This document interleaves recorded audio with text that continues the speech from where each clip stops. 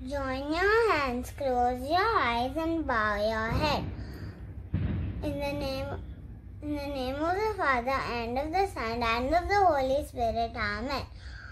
Almighty God, my loving Father, I love you with my whole heart, and above all things, I offer to you all my thoughts and actions, and I ask you to bless me during this day. Help me so that I will always know, love, and serve you, and be eternally happy with you in heaven. Amen. Blessed be your Passion. In the name of the Father, and of the Son, and of the Holy Spirit. Amen. O God, who in your admirable providence have blessed Blessed Mary of the Passion to found an institute dedicated to universal mission. Then we beseech you to grant us the graces we ask of you through intercession. Grant above all that we may learn from her how to be always ready to do your will and to grow steadfastly in love of you. Amen. In the name of the Father, and of the Son, and of the Holy Spirit. Amen. The Pledge I, Sarah Jacob, commit to be vigilant and bear in mind at all times the risk to myself and my colleagues from COVID-19.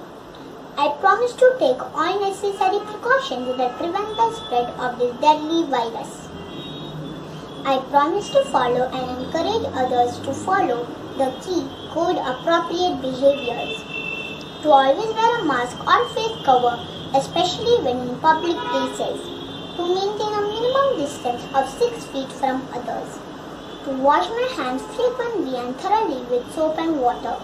Together we will win this fight against COVID-19. Thank you.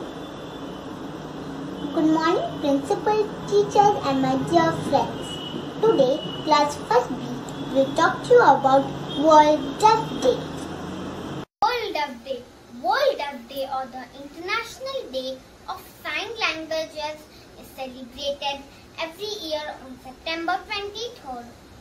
This date has a very symbolic meaning. It is the same date on which the World Federation of the Deaf was founded in the year 1951. This day is celebrated to bring everyone's attention to the deaf community. Thank you. Good morning, teachers and friends. Every year, people every year people make sure that they fulfill the needs and demands of deaf people.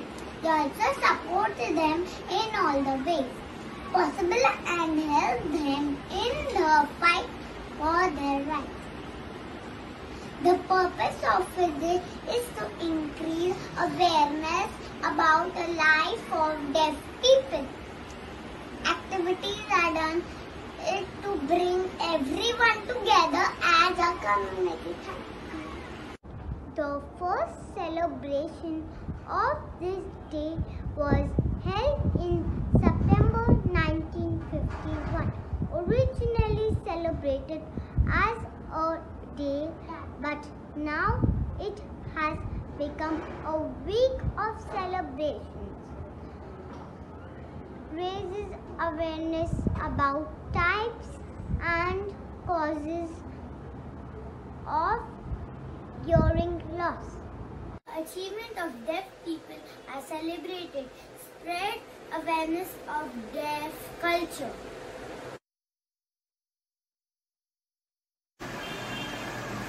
Widely celebrated in schools to teach about the problems faced by disabled people. Camps are organized to teach people about healthy lifestyles and eating habits. Thank you. Being deaf is not a disability. This is the day of celebration. But it's not a holiday. It educates people about preventions related to the year. Thank you. Interesting facts about World Deaf Day. Fact 1. Approximately 30 to 40% of the population's population faces a Definition of old age. Fact 2. The population of deaf people has hit 70 million around the world. About 80% of this number belongs to the developing countries. Fact 3. In United 28 million people are suffering from hearing loss. Plan of money. Instead of being trying to control towards the hearing impaired people, we can promote them our own feet and workplaces. The better lifestyle can be given to them by giving opportunities so their their status Uh, ultimately their respect can be uplifted in the society. Thank you.